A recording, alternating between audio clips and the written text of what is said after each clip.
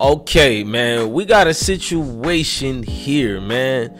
You know, Gangsta William responds to a lot of people, but in this case, Gangsta William is gonna respond to a, a little Boosie Boo situation. You know, he, he responds to it quickly and he let us know what the situation was and what it is. So I want to get to that, but before we get to that, I need y'all to hit the like button. And before, let me give a little bit more background to this too before I just broom and zoom away. Now, what's going on is a lot of people have been giving their opinion on you feel me, Gangsta William, and they got a lot to do with situations of you know, unfortunately, tattletelling, and that led to a lot of people you know, giving their piece and feelings about it. Now, Boosie he gave his piece too on a Vlad interview about Gangsta William, so it didn't sit well with Gangsta William. So he responded a little Boosie dissing him on Vlad TV, and it, you know he, let us know his Birdman really about that life, because a lot of people think Gangsta Williams'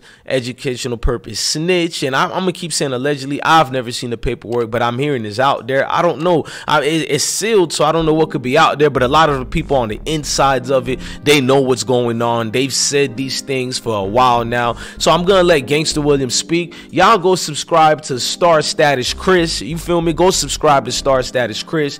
But let's start this show the right way, the true way. And before we get started, I need y'all to hit that like button, hit that notification bell. Come rock out with I Smoke Hip Hop Live. I am your host, DJ Bless One. Let's go.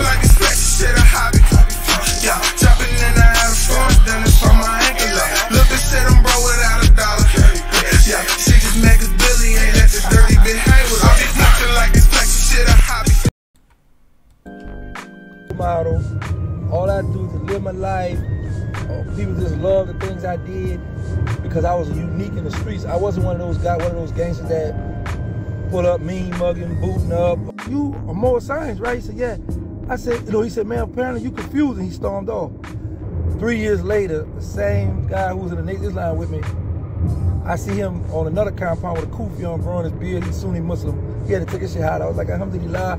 So you know, we, you know, it just it's been a good journey, man. Islam has helped me um, become humble, um, helped me to listen and understand other people's feelings and, and, and, see what other people say. Now I still got a little short fuse where I be ready to snap and go off.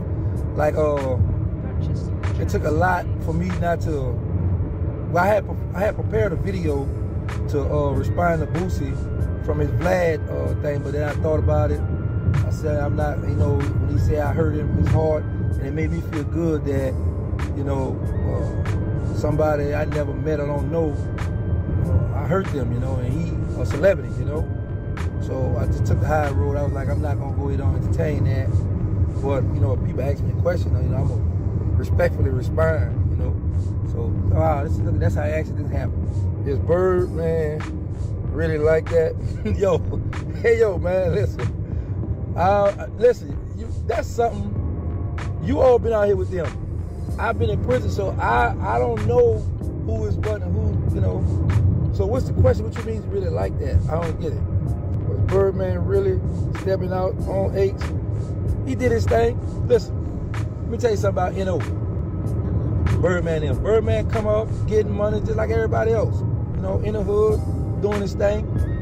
And, you know, they just saw an opportunity where, listen, we can get out this street life and, and we can uh, do something positive, you know. And they took that route. But he come from the streets. He did his thing in the streets. You know, people know him from the streets. Well, like me in the streets, though. Yeah, sitting at the Birdman. At Birdman. Listen, man, I'm not nobody big homie. I'm not a role model. All I do is live my life. Uh, people just love the things I did because I was unique in the streets. I wasn't one of those guys, one of those gangsters that pull up mean mugging, booting up, or, or, or, or, try to bully or talk crazy people, disrespect people. I never was that type of person. So people always did like me from there, you know, from doing that. But uh, I don't want nobody to look at me like a role model or a big homie because any day now, I might just flip. Y'all be like, man, hold up, that, I knew he was faking. You know what I'm saying? So at the end of the day, temptation never take a vacation now. But I'm ne- I don't never want to go back to prison. Um, I'm never gonna again. That's one thing I can uh, I can stand on. You know, cause I don't care how bad it get for me out here, or I go doing dirt bad.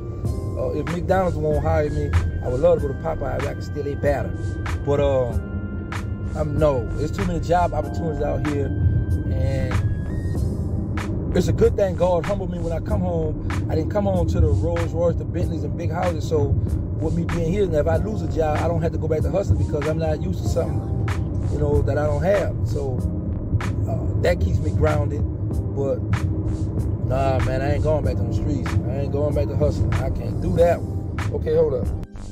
Earning a college degree shouldn't take four years. Okay, you heard what he said, man. He ain't going back to the streets.